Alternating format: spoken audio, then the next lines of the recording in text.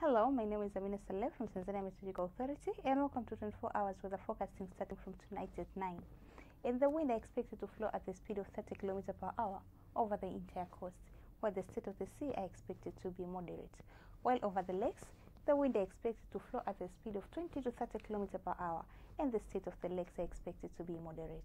And in case of the minimum temperature, the warmer conditions are expected over the coast of the country, the cooler condition are expected over the northern part of the country and west part of the country.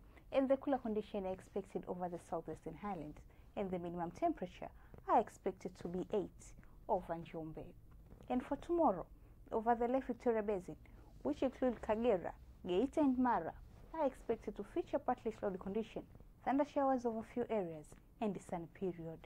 Over Mwanza region, are expected to feature partly cloudy condition, thunderstorms over few areas, and sunny period.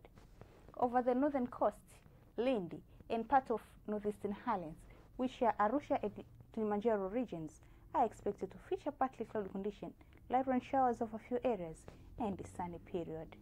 And the rest part of the country are expected to feature partly cloudy condition. Now let's have a look on four days weather forecasting.